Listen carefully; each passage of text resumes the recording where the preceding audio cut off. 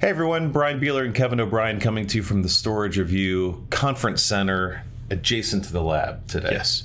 And we've got something a little bit different. This is a specialized server from Advantech, and we've worked with Advantech a lot on servers. They actually are one of the few server vendors or manufacturers that also make their own drives, so that's kind of neat. They've got SSDs. And they have a location that's probably 10 minutes up the road. They do. They do have a nearby uh, Cincinnati location. And so when we think about what normal servers in the data center do, they just kind of slot in, they do their thing in a regular size rack. This guy is a uh, technical term for it is a shorty, I believe. Yes. It's 17 inches deep, and almost everything's on the front of it, except what do we have in the back? Just power and fans, right? Yeah, power and cooling. But you've got drives, you've got networking and PCIe cards all in the front of this thing, and that's to help make the design so that it can all be accessed from one side and that your hot air blows well gets sucked and blown right out Yes. the back It sucks and it blows. Yes. And so, from a serviceability standpoint, we don't really have the issue of having to work in the hot aisle anymore with a device like this.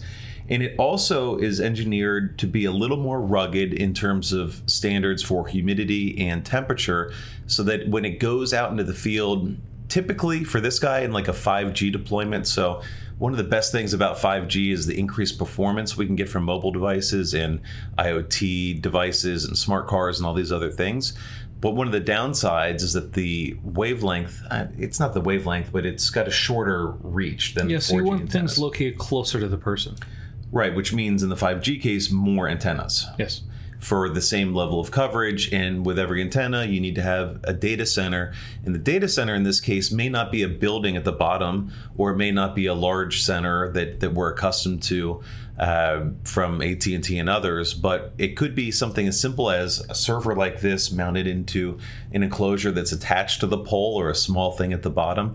Uh, so these server designs are becoming increasingly important. Also, I suppose if you're in a constricted space of some sort, even in an enterprise situation or industrial or whatever, something like this might be interesting. Yeah, it works out well in areas where you might have a shorter rack or just something where uh, you have a location that might not fit a normal longer uh, server profile. Right. And the other thing that's interesting about what Advantech does is that they'll custom order or customize the orders based on customer needs. And they've got a much lower threshold for uh, order counts. So, where other vendors might make you a 5G or a short throw server like this, you know, what to your specs, you might have to order a couple thousand, and maybe not the case with Advantech. So, if you're looking at something that you want tuned a little bit, they're willing to do that. Uh, walk us through though what we've got going on on, on the front of this guy. On the front, there are quite a number of ports you wouldn't generally find on board with a traditional server. On here, we have uh, 10 SFP plus uh, 10 gig, or we have six 10 gig uh, ports On board. Which, I mean, on some servers you might not find more than like two, or some servers are just starting to adopt 10 gig. Right. On here, you can get up to six. Okay. Um, and then you have your traditional um, uh, one gig uh, interfaces for um, uh, boot uh, connectivity, and then a uh, IPMI port for uh, management. Okay. Um, on my side, we've got what do we have? Six bays, and this supports uh, SATA, SAS, and NVMe. And we said uh, you know, Advantech makes their own drives. Here's a couple of them that came with this: a SATA product, the uh, 630, and then their SQ Flash, which is an NVMe drive. So another. Not that you're going to do a lot of computational work here, but you can. And actually, if you put a couple GPUs in this system and some high end flash, you could probably do some pretty um, impressive edge computational analysis stuff where they're looking at images and doing real time surveillance analysis, things like that, smart city kind of well, yeah, things. because it's not just it's not a low power server in the means where it can only support certain CPUs. I mean, it's a full fledged uh, dual Xeon platform. Right. Yeah, let's, let's uh, pop the top off of this guy. Come on, fella. Oh, there we go. Lift. All right, so inside then, what are we looking at?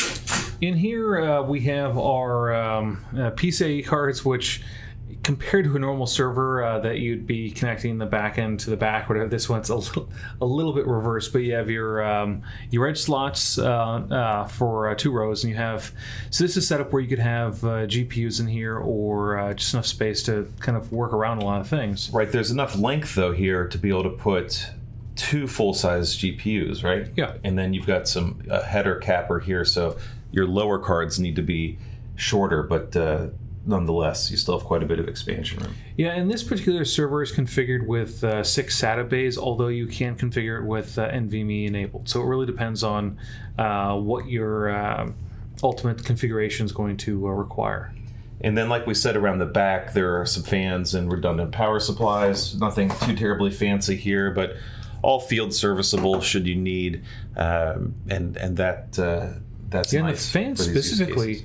You can swap the fans without even opening the chassis. They just pop up from the rear. Okay. Well, cool. Let's take a quick look here at uh, some of the other highlights. So we've got uh, an overview on on the specs. You have 440 millimeters. I guess that's 17 inches. I'm not really sure about the conversion there, but Possibly, I do not have my calculator out. it should be close.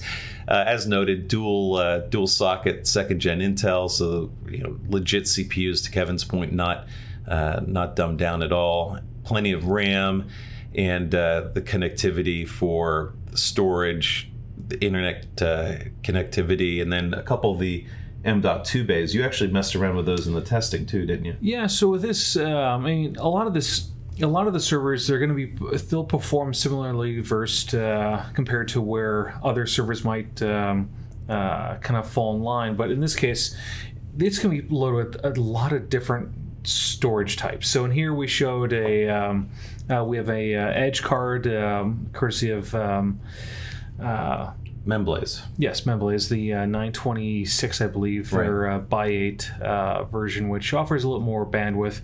And then we used uh, two Toshiba XG, uh, XG5 uh, uh, M.2 SSDs, uh, one terabyte in size. But our focus is more towards here's some bursty storage, here's some enterprise storage, and just kind of chart them against one another. Not saying like one's better than the other, Sure. but just what you can pack inside of this. And that's in addition to the six bays. So you could fill the six bays up with capacity SATA, use the M.2s for your redundant boot if you wanted to, and then an edge card for high performance uh, data if, if you'd have that need. Um, so going back to check out the rest of the specs, we've covered off on most of that uh, with the card support at the bottom. And then we get to the hard hitting architecture design. Yes, there is not a lot of information on the server. So, I mean, one interesting thing is it's a unique form factor, which you're probably if you if you're looking for this type of server, you're not going to be cross shopping this against a traditional um, uh, tier one, tier two type of Yeah, server you may not be looking at Proliant and PowerEdge. Yeah, so it has a different type of profile associated with it, but Okay. it's it's a fun diagram. Good. Um, the uh, KVM support, it's uh, HTML5 based and fairly intuitive. Uh, it gets right to the point for a lot of the uh, feature overviews and allows you to drill into CPUs, memory, storage, networking, and so on. And also works for a uh, KVM. And uh, we used it for installing the OS, getting that uh, that stuff going, and it's really painless. Okay. Well, that's good because we don't always see nice management software in servers. Yeah, and I have a feeling when this thing goes out into the field, it'll probably be only touched a couple of times. It's more of the it's the type of thing where unless the cell tower it's put on is burning down or a component fails, you're really just going to set it and forget it and hope that no one ever uh, has to go out to it. And that's why it's designed around the more rugged scenarios. Okay.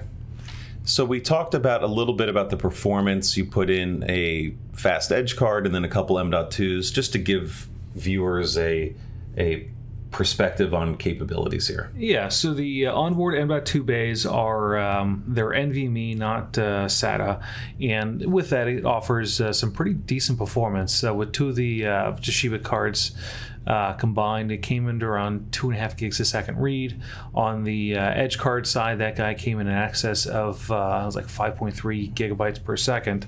On the sequential write side around uh, one gig a second uh, combined for the um, uh, XG5s, and then in excess of uh, 2.5 gig a second on the uh, Edge card.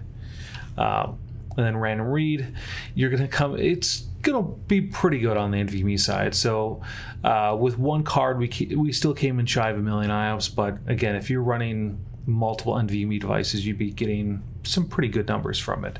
Um, and then on the um, uh, more consumer uh, OEM variant of the M.2 drives in excess of 600,000 IOPS. So it does pretty well.